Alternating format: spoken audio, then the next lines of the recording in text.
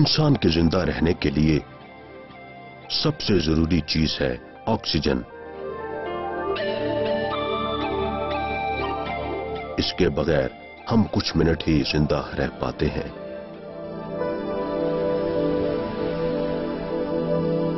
हमारे माहौल में मौजूद जंगलात ऑक्सीजन फराहम करने का सबसे बड़ा ज़रिया है।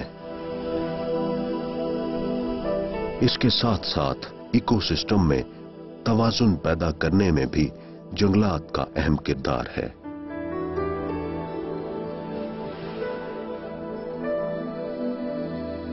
इनमें मुख्तलिफ़ जंगली हयात पाई जाती हैं, जो एक दूसरे पर इन्हिसार करती हैं।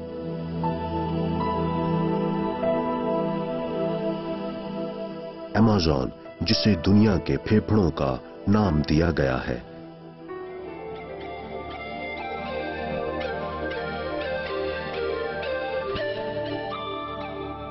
हमारे मौसमों में तवाजुन रखने के लिए बहुत ज़रूरी है। क्योंकि यहाँ जंगलात के साथ साथ पानी के कुदरती जखायर भी मौजूद हैं। सूरज की तपिश से पानी भाप बनकर बारिशों का बायस बनता है और बारिशें नबातात की बका के लिए ज़रूरी हैं। और ये पौधे मुख्तलिफ़ जानवरों की खुराक बनते हैं। जानवरों और पौधों की कुल तादाद का दो तिहाई हिस्सा रेन फॉरेस्ट्स में पाया जाता है। मडगास्कर के शुमाल मशरक में जजीरा नुमा मेजुआला तीन हज़ार मुरबा किलोमीटर पर मुहित जंगल है। अपनी बायोडायवर्सिटी की वजह से ये बायोलॉजिस्ट्स के लिए एक बेहतरीन जगह है, रिसर्च करने के लिए। फ्रांसिस हॉल एक मारूफ, फ्रांसीसी माहिर नबातात हैं, जो कि हाल ही में मेजुआला में काम कर रहे हैं।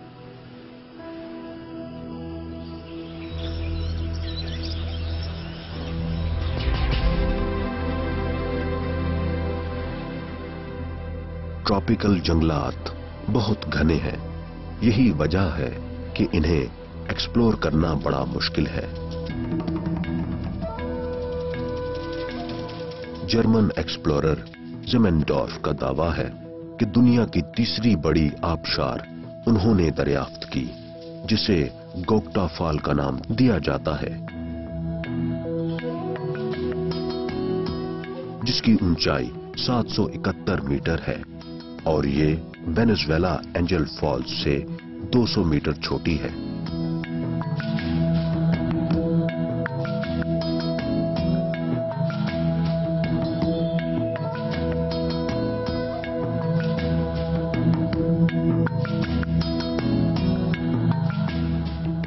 साल हर साल की इन्वेस्टिगेशन के बाद एल्डोरेडो मुहिम के लीडर शॉन सेवो ने शुमाली पीरू में कदीम इमारत के बाकियात दरियाफ्त किए।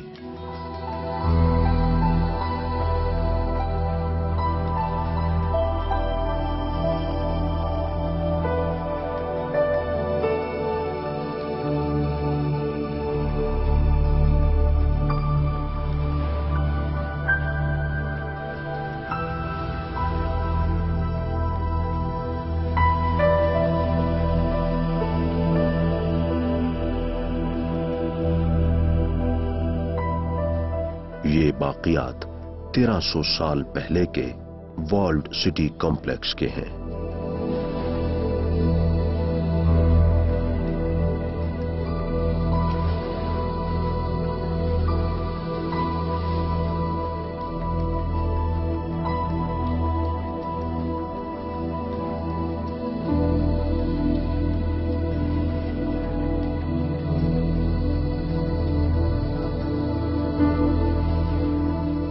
घने जंगलात और झील के करीब यहाँ कब्रिस्तान भी है, जहाँ ममीज पाई गई हैं।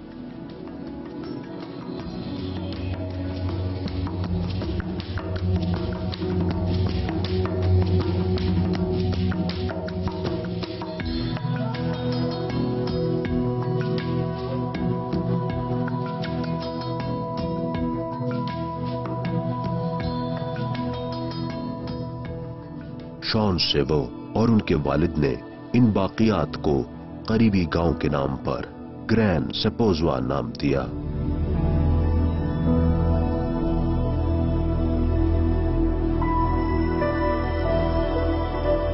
यहाँ के आबाई चचापुआस को इनकास लोगों ने मात दी।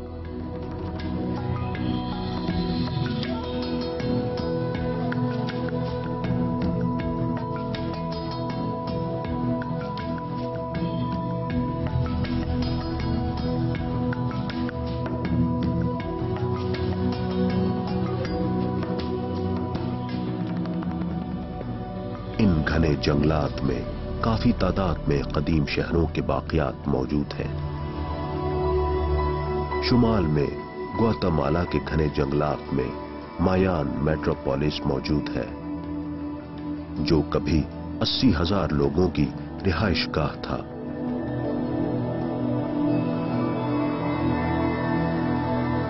सन 1930 में आसमान में से यहाँ की तस्वीर ली गई।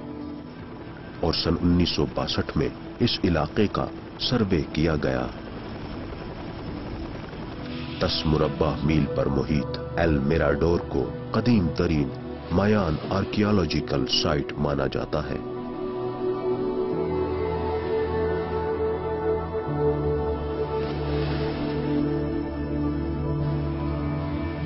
यानी करीब 2200 साल कदीम तहजीब।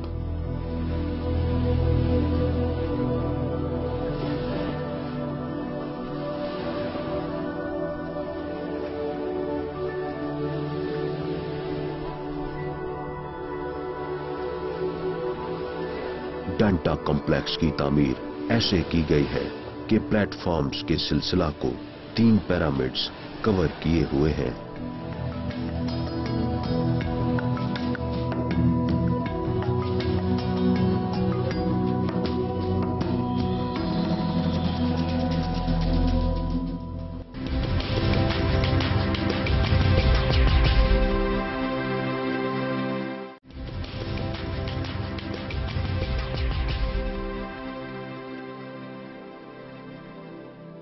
खत इस्तेवा के करीब सबसे ज़्यादा सूरज से आने वाली तवानाई जज्ब होती है, जो इस रीजन के दर्जा हरारत में इजाफा करती है। और कुतब और ट्रॉपिक्स के दरमियान इस दर्जा हरारत के फ़र्क की वजह से पानी का बहाव, हवाओं का चलना मुमकिन होता है। जजीरों और साहिलों के इर्द गिर्द ट्रॉपिकल समुंदर में बड़ी तादाद में कोरल रीफ्स पाई जाती हैं। कम गहरे ट्रॉपिकल फिशरीज में पकड़ी जाने वाली मछलियों की तादाद कुल दुनिया के पानियों में से पकड़ी जाने वाली मछलियों का निस्फ है।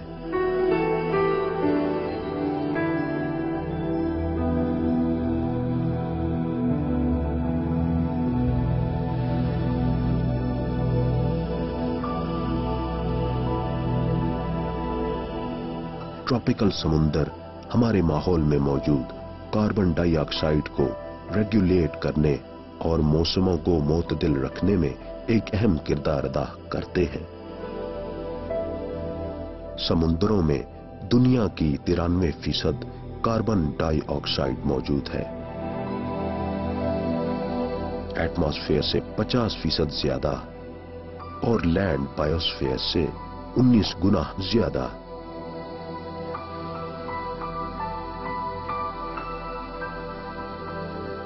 समुंदर, खुशकी और माहौल एक दूसरे पर असर अंदाज होते हैं।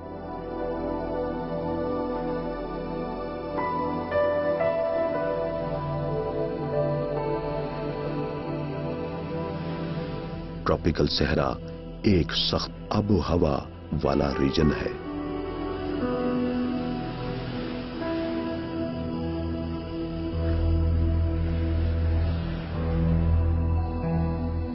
लेकिन फिर भी यहाँ जानवर और पौधे ज़िंदा रहते हैं।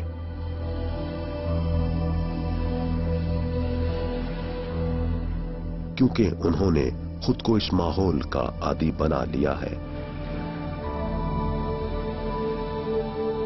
यहाँ बारिश 250 सेंटीमीटर सालाना से भी कम होती है।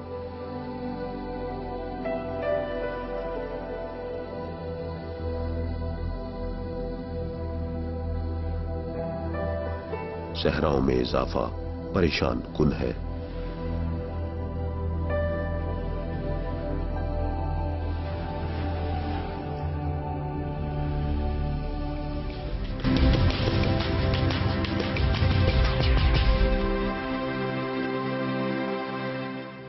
कीनिया मसाई मारा नेशनल पार्क, जो कि खत इस्तवाह के जनूब में वाक़ है।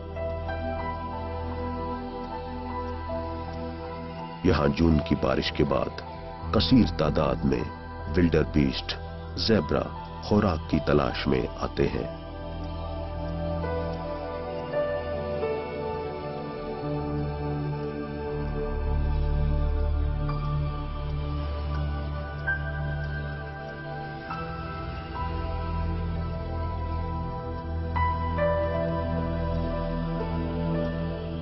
इनका शिकार करने वाले शेर चीतास, लेपर्ड्स और हाइनास भी इनकी ताक में होते हैं।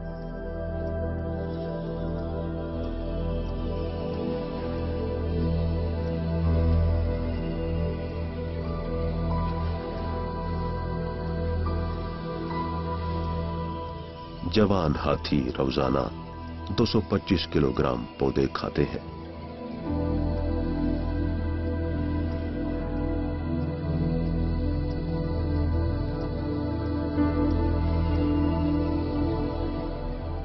दरिया को पार करना खतरे से खाली नहीं, मगरमच्छ इनकी ताक में है।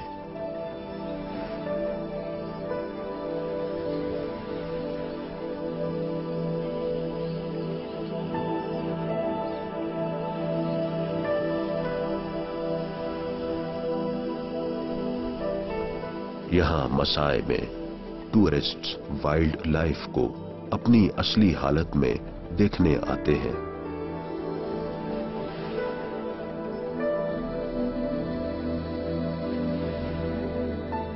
लेकिन जनूबी थाईलैंड में सूरत हाल मुख्तलिफ़ है। पोकेट आइलैंड के हाथी पार्क और वहाँ की टूरिस्ट इंडस्ट्री को सुनामी ने तबाह कर दिया। हाथी यहाँ टूरिस्ट्स को एंटरटेन किया करते थे।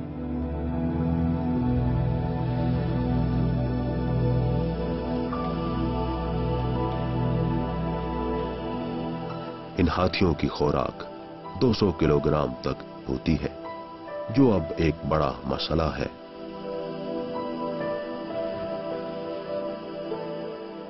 थाईलैंड में 3000 पालतू और 2000 जंगली हाथी हैं।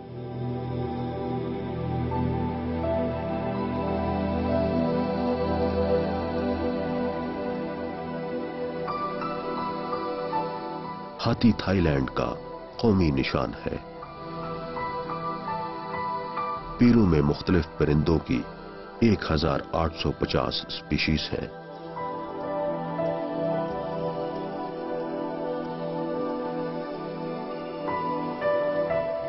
यहाँ इको टूरिज़्म इंडस्ट्री तामीर करने की मनसूबाबंदी की जा रही है।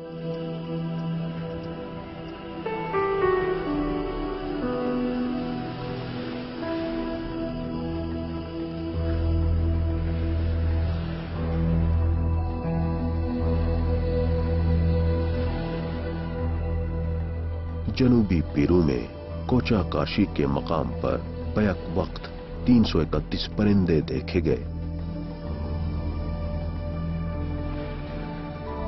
जो एक वर्ल्ड रिकॉर्ड है।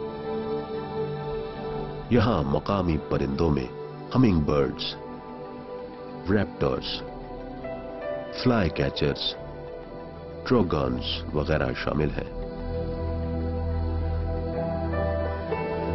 अमेजॉन जंगल में लातादाद अनडिस्कवर्ड स्पीशीज मौजूद है, जिनमें सर फहरस्त, वाहिद दुनिया से अलग थलग इंसानी कबीला है।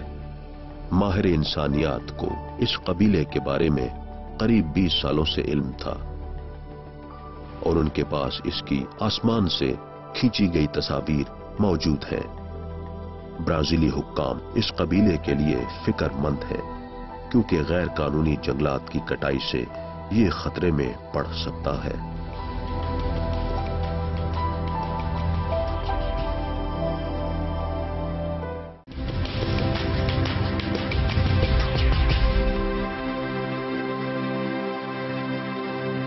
ट्रॉपिकल शुमाली लेम्बिया में एक बैन अवी साइंसी मुहिम में खास तरह के इंसेक्ट्स को दरियाफ्त किया गया। जिनके बारे में तस्वर किया जाता था कि इनकी नस्ल खत्म हो चुकी है। यहाँ लंबिया और तंजानिया में 40 मिलियन साल पुरानी चट्टानों के बाकियात भी दरियाफ्त किए गए हैं। काफ़ी तलाश के बाद नायाब हशरात को बिल आखिर रात के वक्त देखा गया।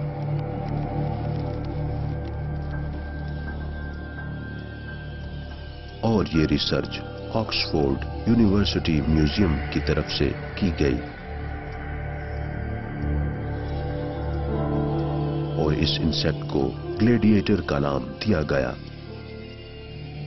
यहाँ दरियाफ्त हुए हशरात की रिसर्च से पहले ये तस्वर किया जाता था कि दुनिया में पाए जाने वाले तमाम हशरात का रिकॉर्ड मौजूद है।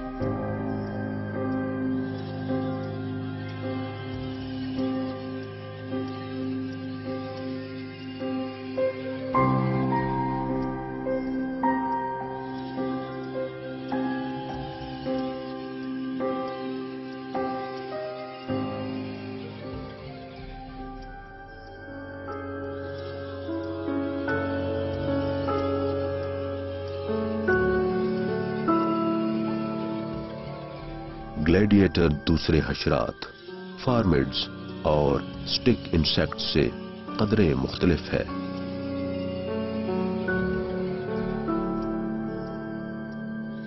इसकी औसत लंबाई चार सेंटीमीटर तक होती है।